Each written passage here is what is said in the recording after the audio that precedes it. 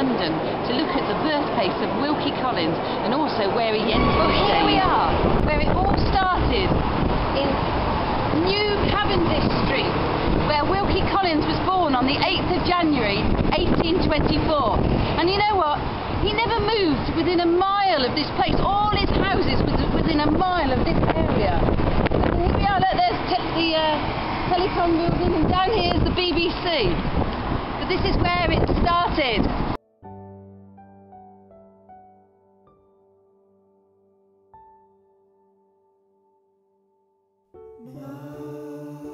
If you want to find out more about Wilkie Collins' life, I would suggest you read this book by Peter Ackroyd, Wilkie Collins. It's got some fascinating stuff about this fascinating man.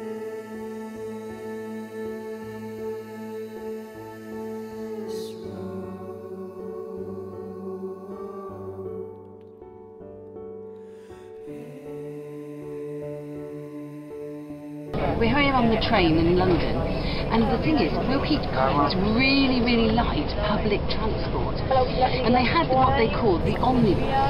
And the interesting thing is, they shortened that, and do you know what they called it? The no, the omnibus really loved the omnibus was that he wanted to immerse himself in the actual and not just the idea you could just travel around and they would provide all the magazines and newspapers you wanted to read within London so you could just sit there all day reading the newspapers. He also liked to scrutinise and watch people, watch how they behaved on public transport.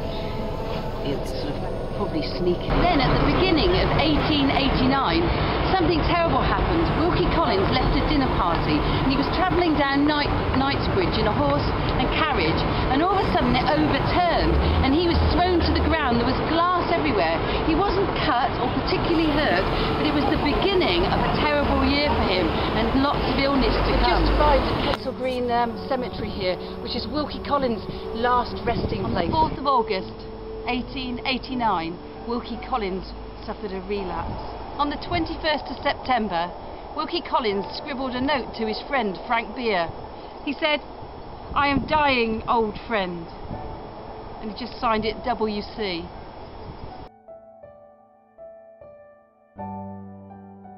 On Monday, the 23rd of September, Caroline Greaves wrote in her diary, Wilkie died at 10 o'clock this morning.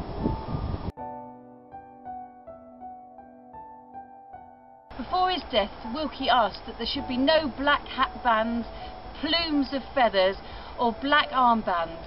He didn't want his funeral to be like that. He requested a very plain cross here, and on the front of it, we'll do a close up in a minute, it says Wilkie Collins, author of The Woman in White, and other novels of the fiction.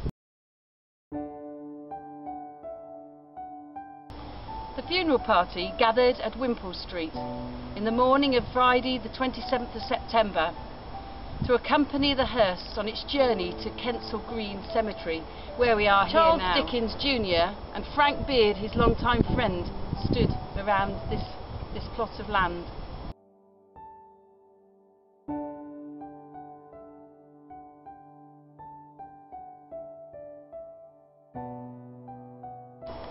While Caroline Greaves and her daughter attended the funeral, she was his lifelong mistress. Martha Rudd, his other mistress, didn't attend.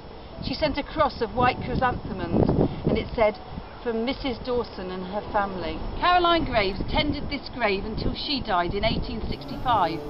And then the grave was tended by his other mistress, Martha Rudd, but she didn't get to be buried here. But interestingly enough, I see from a little plaque down here that this grave is beautifully maintained by the great-granddaughter of Wilkie Collins, which must have been the great-granddaughter of Martha Rudd.